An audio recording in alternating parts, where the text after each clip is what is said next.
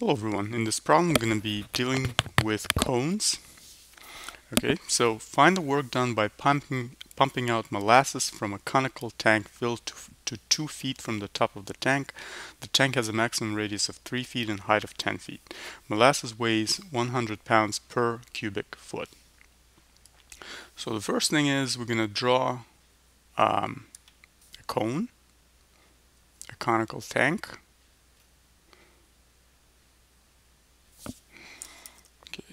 uh, draw it better like this. And uh,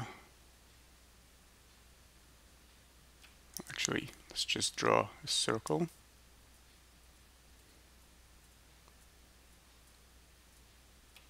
Like this. Okay so so the problem says that it's filled um, to two feet from the top two feet from the top right? So it means that it's filled up to 8 feet. Okay, so we can draw uh, 8 feet is probably somewhere there. Okay, um, so we can actually fill it up. So this is where it's filled. All right, and the height of this is 10 feet.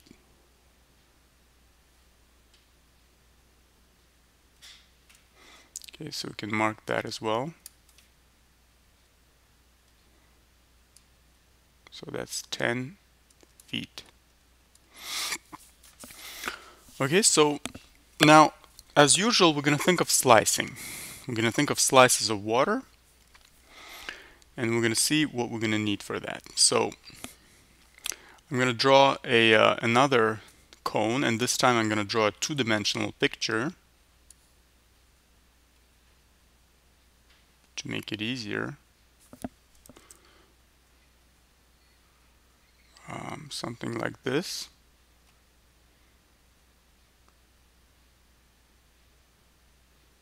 Okay, so here we're going to use similar triangles in order to understand how we can use the slice which is represented by a smaller base. Okay, so we can think of a slice of water a given slice of water being this slice, okay? And we know that um, we know that the base, the largest base, um, has a maximum radius of three feet, right? So the base is six, right? Because that's the diameter. Um, and the height is 10. Oh, sorry, the height is 10. So we can think of the smaller base as the slice of water and we can label it as BI. Okay, so this uh, BI, this smaller base, represents the slice of water. Okay, and now um, this slice of water is located um, a distance of y i from the ground level. Okay. We don't know what y is and we, we don't know what the b is, right? But we're just theoretically estimating that the base bi, the slice of water, is yi feet from the ground, okay? Because uh, this is the ground level, okay? So now we can actually use triangle uh, similarity because these triangles, the, the smaller triangle and the parent triangle, they share the same um, three angles, right? The vertex angle, of course, and the other, uh, the, the base, uh, the two base angles are the same. So these triangles are similar, therefore we can set up a proportion, and solve for BI in terms of YI. So we can say 6 divided by 10, right? The largest base uh, divided by the total height is equal to the smaller base divided by the corresponding height for that base. So it's going to be bi divided by yi. So now we can cross multiply. We will have 6yi. So that's going to be equal to, let's see, 6yi is equal to 10 bi. And that is equal to, uh, solving for BI, we're going to have BI is equal to 6 over 10 YI. Okay? And uh, this is simplified as 3 over 5 yi. Now notice that the base, uh, why do we need to find the base? We need to find the base because we're going to be using this water slice, this slice of water, in order to find the force required to move it. And in order to find the force required to move it, we need to use its volume, the, the volume of the slice, in order to calculate the force. Because we're also given that the weight of uh, each uh, water slice is going to be 100 pounds per cubic foot. And keep in mind that uh, the weight is going to be constant for whichever slice you take. It's going to be the same weight, 100 pounds per cubic foot. And it will depend on the volume of each slice in order to estimate the force required to move it. Okay? So now keep in mind that in order to find the volume of each slice, we need to use the radius. Okay? Because um, if if each slice is uh, uh, small enough, if it's thin enough, then it will be approximately cylindrical. And the volume of the cylinder, as you should know, is pi r squared h. Okay, so I'm just going to say the volume of a cylinder is equal to pi r squared h. Okay, so we're going to say the ith slice uh, significantly small or thin. Okay, so we can say approximately cylindrical. So now we're going to use this uh, formula for the volume of the cylinder, but before we do that, we need to estimate the, uh, the, the radius of this i slice But the radius, as you should know, is one half of the base, right? So the uh, the radius of the i slice can be represented as r subscript i, and uh, we know that it's one half of the of the BI, right? One half of the base. So, so we're going to take one half of the BI, and we know that the BI in terms of YI is 3 fifths. So it's going to be one half of 3 fifths YI, and that's going to give us um, 310 YI. Now keep in mind that in the formula for the volume of the cylinder, the radius is squared, right? So the squared radius is going to be 9 one hundredths yi squared. So now we can use the volume of the ith slice. So I'm going to say it as v with subscript i, and we're going to keep it as pi,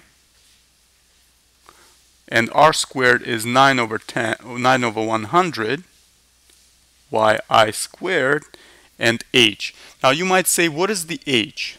The h is the height of each slice, but we're, we're saying that it's um, uh, that it's uh, thin enough, significantly small, right? So we can treat the height of each slice as delta y. Okay, so we're just going to say is delta y, right? So we're just going to say h, okay? And that's the, we can treat it as the thickness okay so we can add it here as the height delta y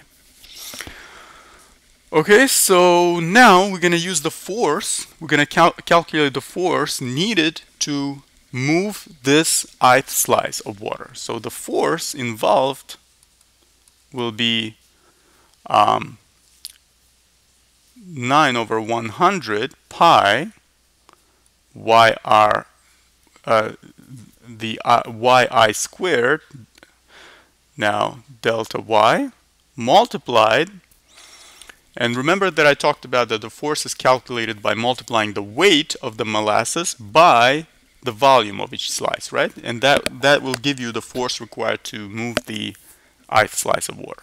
So we use this given information, 100 pounds per cubic foot. So 100 pounds per cubic foot. And I'm going to indicate it here that the first part is the volume of the ith slice, and this 100 is uh, uh, the weight density of molasses. Okay, weight density of molasses. Okay, so that should give you, actually notice that 100 gets cancelled out because it's a num numerator and the denominator.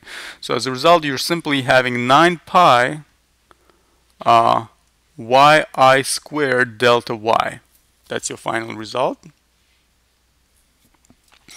Now, what about the distance, you might ask? Because the, now, finally, the work required to move this ith slice, a distance of y feet, let's say, will be calculated by using the force that we just found multiplied by the distance that this um, ith slice will be moved. Okay, the ith slice of molasses. Right, so um, I'm sorry, maybe I, I said water before, but it's we're dealing with molasses here, right? So just treat that water that I, that I was naming before as molasses because we're dealing with molasses. Okay, so so the work involved in uh, let's let's calculate the distance that we're going to be moving this ith slice of molasses, right? S since this ith slice is located the distance of yi feet from the ground level, uh, the distance that we're going to be pumping this molasses um, up there will be 10 minus yi, right? Because we already have the yi height at which the ith slice of molasses is located, so it needs to travel 10 minus yi feet more in order to reach the top of the conical tank. Okay? So now, uh, the work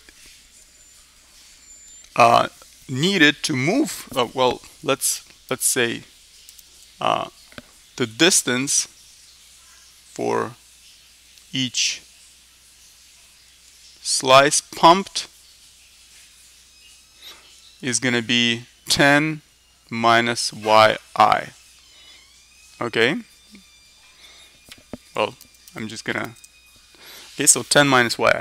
So now the work needed for each ith slice to pump each ith slice of molasses is going to be 9 pi yi squared delta y times 10 minus yi. Okay, and this is force, and this is the distance for each i slice. Okay, and now notice that you can sum up all the all the slices together by approximating the work using the summation rules um, and you will take the summation from the first slice of molasses to the nth slice right? Because basically when you first started uh, dealing with slices you divided um, uh, you divided the initial height of 8 feet because this was 8 feet to which the molasses were filled in the conical tank, you divided that basically into n subintervals, and each subinterval represented the delta y, basically the height of each slice. So now you're dealing with all the slices from the first slice to the nth slice in the summation. You're going to sum up all the slices together and you're going to sum up all the work required for each individual slice to find the total work okay? But you don't know what n is and for this reason you're simply estimating the work for now because you don't know how large n is. n can get larger and larger and larger but we don't know how much it is so we're going to estimate it. So we're going to just copy down 9 uh, 9 pi yi squared delta well let's let's keep let's keep 10 minus yi first and then add the delta y so now in order to make uh, work 100% accurate, in order to calculate exact work that is, we will need to take the limit as n approaches infinity, right? So all I'm saying is you're going to say there are infinitely many slices of water.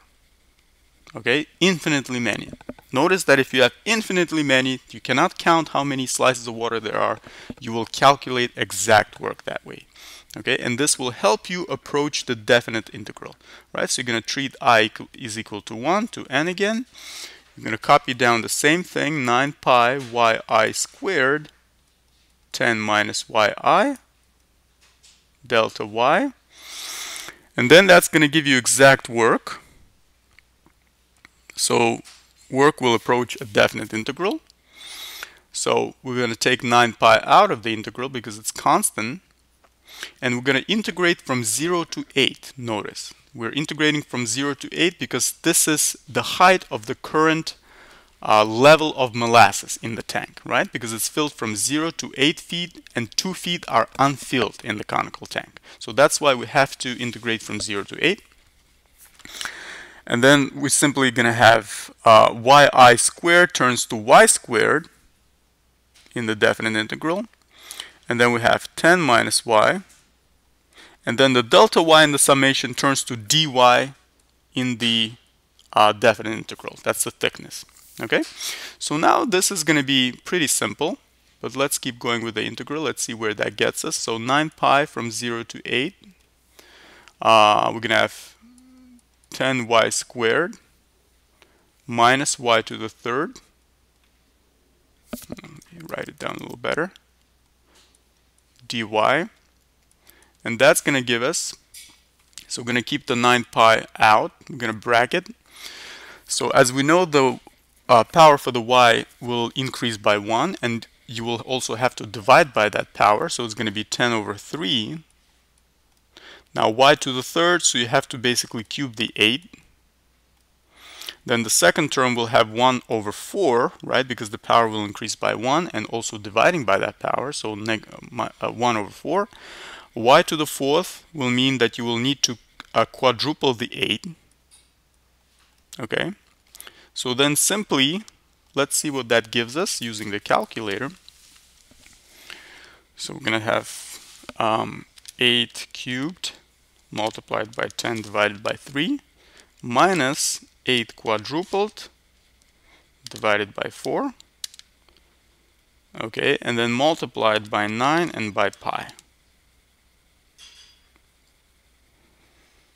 Well actually let me see if I if I'm doing it right let's try that again. So 8 cubed times 10 divided by 3 minus 8 quadrupled divided by 4 okay that seems right. Times 9 times pi. Okay good. So I will approximate it because um, it's a long answer in the calculator but I will just round it to the nearest uh, whole number. So it's going to give me about 19,000 um, 302 foot-pounds okay that's the work required to pump um, a height of uh, 8 feet of molasses from a conical tank so I hope this tutorial was uh, helpful. Uh, please subscribe and I'll see you in my next video.